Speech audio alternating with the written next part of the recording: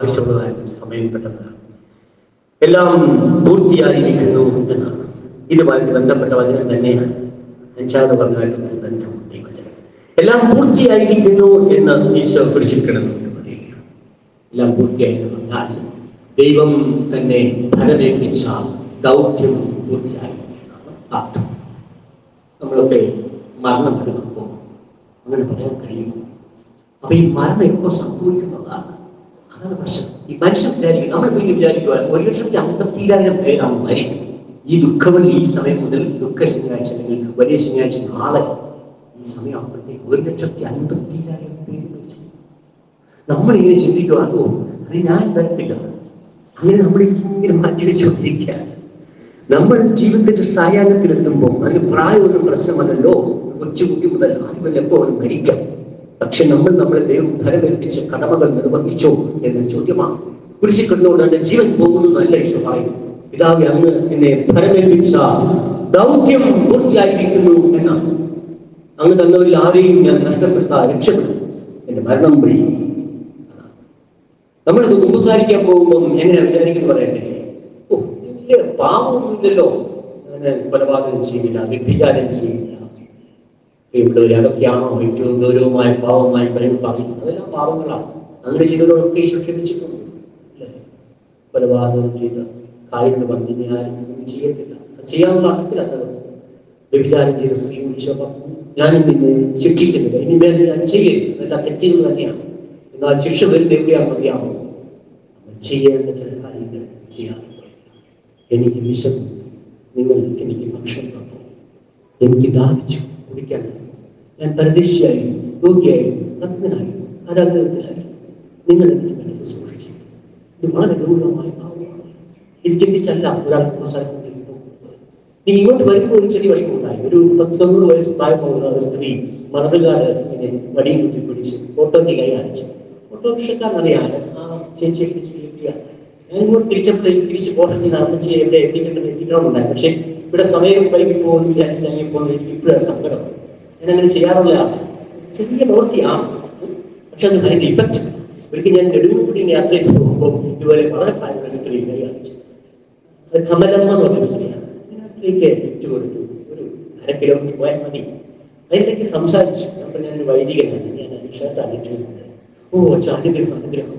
ആ സ്ത്രീ പറയുക എനിക്ക് മരുന്ന് വാങ്ങാൻ പൈസ ഇല്ല ഞാൻ ഇങ്ങനെ മരുന്ന് ഷോപ്പ് വന്നതാ ഞാൻ എന്റെ വശം ഇരുന്നൂറ് രൂപ കൊടുത്തു എന്റെ കൈവശമില്ല ചെറിയ തുകയല്ലേ പക്ഷെ അവർ ഒത്തിരി അനുഗ്രഹം എനിക്ക് തന്നു നമ്മൾ ചെയ്യുന്ന ഒരു ചെറിയ പ്രവൃത്തിക്ക് പോലും ഒരു ഇഫക്റ്റ് ഉണ്ട് നിശ്ചലമായി കിടക്കുന്ന ഒരു തടാകത്തിൽ ഒരു കൊച്ചു കുട്ടി ചെറിയൊരു കല്ലെടുത്ത് തല തലങ്ങളുണ്ടാവും അതുകൊണ്ട് ഈ പുന്നത്തറ വെള്ളാപ്പള്ളി ഇടവഴി സെന്റ് തോമസ് ചർച്ച് ഒരു കൊച്ചു കുട്ടിക്ക് പോലും വലിയ ഇഫക്റ്റ് ഉണ്ട് Yes, അത് വിശ്വസിക്കുക ചെയ്യേണ്ട നന്മ ചെയ്യുക ഒരുപക്ഷെ പാൽ കൊടുത്തിട്ട് തിരിച്ചു പോകുന്ന കുട്ടി കാണുന്നു പൊട്ടക്കിടത്ത് ഒരു മനുഷ്യൻ കിടന്ന് ജീവന് വേണ്ടി നിലകൊടുക്കുന്നു ഈ കൊച്ചുകുട്ടി ഓടിച്ച നാട്ടിലെ രക്ഷപ്പെടുന്ന രക്ഷപ്പെടുത്തും. അതേ കുട്ടിക്ക് ഒരാളെ അപായപ്പെടുത്താൻ സാധിക്കും നമ്മൾ ചെയ്യാതെ പോയ നന്മകളിൽ നമ്മളെ രക്ഷപ്പെട്ടിട്ടെ ഒരു വൈദികൻ നിലയിൽ ദൈവനെ പ്രകടിപ്പിച്ച ദൗത്യം നിർവഹിക്കാതെ പോയതൊക്കെ എനിക്ക് വലിയ ദുഃഖമായി മാറിയിട്ടുണ്ട്. ഒരിക്കൽ ഞാനൊരു പള്ളിയിൽ പന്ത് കളിച്ചുകൊണ്ടിരിക്കുക ഒരു മനുഷ്യൻ ഓടി വന്ന് എന്നോട് പറഞ്ഞു. എന്റെ ദൈവം വെച്ച് അഞ്ചു ഉദാശ വോളിബോൾ കളിക്കാൻ. ഞാൻ ചോദിച്ചു ജോസെ രണ്ട് സർവീസിന്റെ മതി രണ്ട് പോയിന്റ് അങ്ങനെ ചെയ്താൽ അമ്മച്ചിക്ക് എന്തെങ്കിലും ജീവൻ സംഭവിക്കും അതൊന്നും എനിക്കറിയത്തില്ല. അമ്മച്ചിക്ക് വഴിയാണ് ഞാൻ രണ്ട് മൂന്ന് മിനിറ്റ് കഴിഞ്ഞ പോകുന്നു. പെട്ടെന്ന് ശക്ത സമയം. കളി. രണ്ട് മൂന്ന് മിനിറ്റ് തുടർന്നു.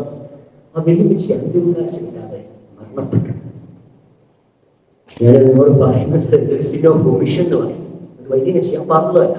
പിന്നീട് ഒരിക്കലും ഞാൻ അങ്ങനെ അന്ത്യവകാശം വന്നാൽ പെട്ടെന്ന് റോഡിട്ട് ബൈക്കേക്ക് ബൈക്ക് എന്ന് വണ്ടി പെട്ടെന്ന് experience is the best teacher നമ്മുടെ ജീവിതത്തിൽ ഒത്തിരി എക്സ്പീരിയൻസസ് ഇല്ലേ അതാണ് ഏറ്റവും വലിയ അധ്യാപനം അതുകൊണ്ട് അതിൽ നിന്ന് പഠിക്കണം. ചെയ്യാൻ സാധിക്കുന്ന നന്മകളെല്ലാം ചെയ്യും. പ്രത്യേകിച്ച് നോയമ്പ് കാരണം നമ്മുടെ ആത്മവിശുദ്ധികൾക്കായി സഭ നൽകുന്നത് പ്രാർത്ഥന ഉപവാസം ദാനധർമ്മം അബ്സ്റ്റിനൻസ് ദാനധർമ്മം നമ്മൾ ചെയ്യേണ്ട നന്മകൾ ഒത്തിരി അത് ചെയ്തേ മതിയാവും. ഞാൻ ഇതിന് മുമ്പ് ഇരുന്ന് തമിഴിന്റെ ഒരു പള്ളിയായിരുന്നു വീട് വെച്ച് സഞ്ചരിച്ച് കഴിഞ്ഞ വർഷം ഇങ്ങനെ പോകുമ്പോൾ ഈശ്വരനോടനുബന്ധിച്ച് പോകുമ്പോൾ ഒരു ഹിന്ദു ഫാമിലി എന്നെ വിളിച്ചു. ശബ്ദം പ്രാർത്ഥിക്കും. പന്ത്രണ്ട് വർഷമായി തറ കെട്ടിയിരിക്കുന്നു എന്റെ ഇവിടെ മുറി പണിയാനൊക്കെ പറ്റിയിട്ട് ഒറ്റ മുറിയിൽ മൂന്നാൽ പേര് താമസിക്കും ഹിന്ദുക്കളാണ് ഞാൻ ചോദിച്ചു ഞങ്ങളുടെ പള്ളി വരുന്നവരെതിരെയാണോ വരുന്നത്? അതെ അവരെതിരെയാണ് ഈ വലിയ പന്ത്രണ്ട് വർഷമായി. ഞാൻ പറഞ്ഞു ഈസ്റ്റർ ദിവസം നിങ്ങളുടെ വീട് പറഞ്ഞിരിക്കും. ഒരു മുറിക്ക് ഒരു മുറി അത് പറഞ്ഞിരിക്കും.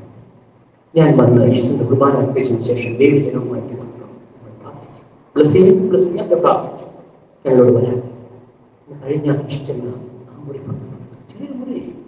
രണ്ട് ലക്ഷം രൂപ കാര്യമുള്ളൂ പക്ഷെ മറുപടിക്ക് പന്ത്രണ്ട് വർഷമായിട്ട് അവിടെ അങ്ങനെ കിടന്ന് ആ തറ കെട്ടിക്കിടന്ന് വീടിനെ അന്വേഷിക്കാൻ കഴിയാതെ പള്ളി വന്ന് ദൈവത്തെ ഉറക്ക സ്തുതിക്കുന്ന മനുഷ്യർ ഞാൻ ബലിയല്ല കരുണയാണ് ആഗ്രഹിക്കുന്നത് എവിടെ പോയി കുമ്പസാരത്തിൽ പാവം നാലാം സിനഫോമിഷൻ ധാരാളമുണ്ട് ഒരു കുടുംബനാഥൻ എന്ന നിലയിൽ താങ്കൾ ചെയ്യേണ്ട കർത്തവ്യം നിർവഹിക്കാൻ പോയപ്പോൾ ഗൗരവമായിട്ടില്ല താങ്കളുടെ പരിപാടിക്ക് ഒത്തിരി പേർ സഹായം അർപ്പിച്ചു നമ്മൾ സഹായിക്കും എപ്പോഴാണ് പള്ളിയിൽ അനൗൺസ് ചെയ്യുമ്പോൾ സഹായിക്കും അമ്പതിനായിരം രൂപ ആൾ കൊടുത്തു അല്ലാതെ വരുന്ന കുഷ്ഠരോഗിയായ ഒരു പാവപ്പെട്ട മനുഷ്യൻ നിങ്ങൾ പത്ത് രൂപ അത് ഒരു പഴഞ്ചൻ പത്ത് രൂപ തന്നെ പറഞ്ഞേക്കും കാരണം ലോകത്തെ ആരും അറിയുന്നില്ല കൊടുത്തത് ശരിയല്ലേ? അപ്പൊ അത് പ്രസാദത്തിൽ പറയട്ടെ. എന്റെ ജീവിതത്തിൽ സംഭവിച്ച ഒരു സിനിമ കൊമ്മിഷൻ ഓർത്താണ് എനിക്ക് വേദന. ഒരിക്കൽ ഞാൻ എന്റെ ഗ്രാമത്തിലൂടെ വണ്ടി ഓടിച്ചു പോകുമ്പോൾ വള്ളഞ്ചിറ മണിമലക്കൽ സ്ഥലമാണ് ഞാൻ ജനിച്ച സ്ഥലം. അതിന് വണ്ടി ഓടിച്ചു പോകുമ്പോൾ എന്റെ ഒരു സഹപാഠി റോഡിന്റെ സൈഡിൽ ഒരു സർവേ കല്ലിൽ ഇങ്ങനെ ഇരിക്കുന്നു. വിഷാദത്തിനായിട്ട് എന്റെ ഒരു പരിസ്ഥാനം സ്കൂളിൽ. ഹിന്ദുവാണ് രമേശ്.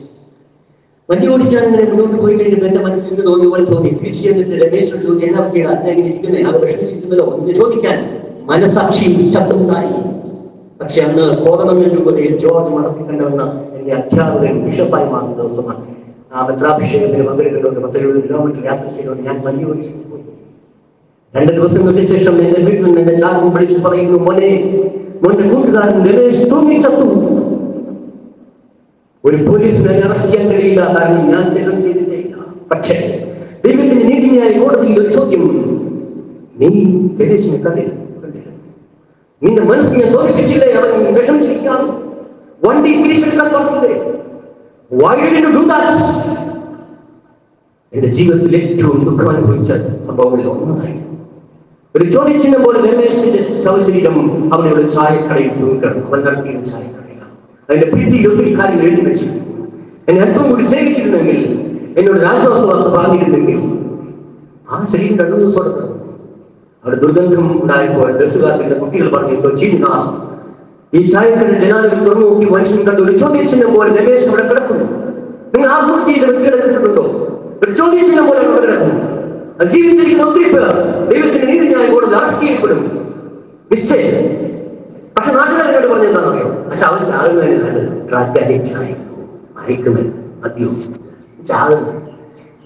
ആലോചിച്ചു നിങ്ങൾ ആ മയക്കുമരുന്ന് അടിമപ്പെട്ട മനുഷ്യനെ ഒന്ന് അതിന് വിടുവിക്കാൻ എന്തെങ്കിലും ചെയ്തിട്ടുണ്ടോ അവന്റെ ചായക്കടയിൽ പോയി ചായ അല്പം സംസാരിച്ചിട്ടുണ്ടോ?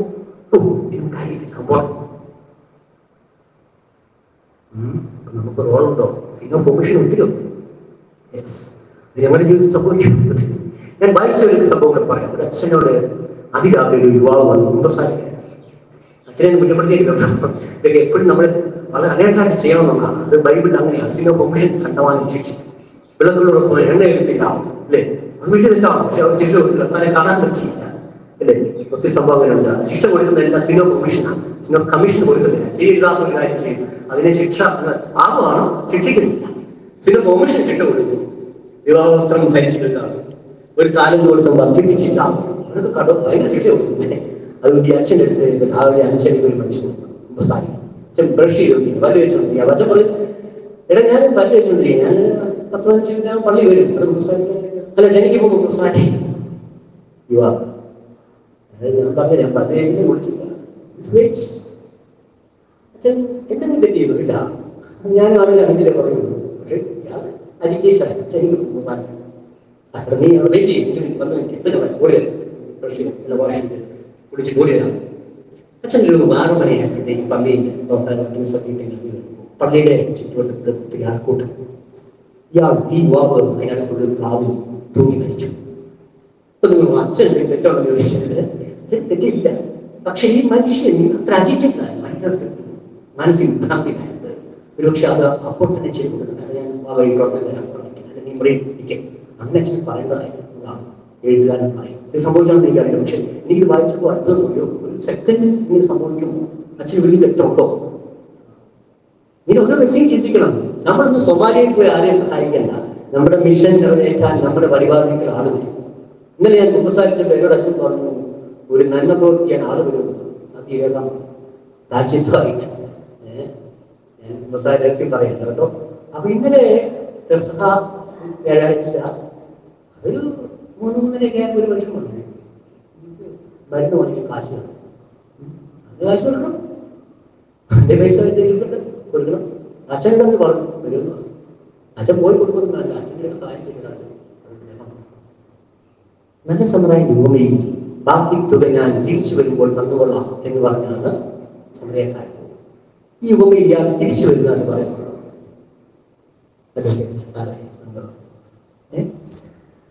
പറയും. തിരിച്ചു വരുന്നുണ്ടോ? ആ നല്ല സമയം. ഞാൻ ബാക്കി തുക തിരിച്ചു വരുമ്പോൾ തന്നുകൊള്ള ബൈബിളിൽ മുഴുവിപ്പിക്കാത്തൊരു ഉപമയാണ് പൂർത്തിയാക്കിയിട്ടില്ല ഉമ്മ. ആ പൈസ ആര് കൊടുക്കും? എന്റെ ചോദ്യം അതാണ്. പിന്നെ അതിനെ യാത്ര ചെയ്യുന്ന ഒരു മനുഷ്യൻ വേണം ഇതിനെ പൈസ കൊടുത്ത് കൊണ്ടുപോകാൻ. എന്നൊരു തോന്നുന്നു സമയം. ലാസ്റ്റ് വചനോട് പറഞ്ഞ് അവസാനിപ്പിച്ച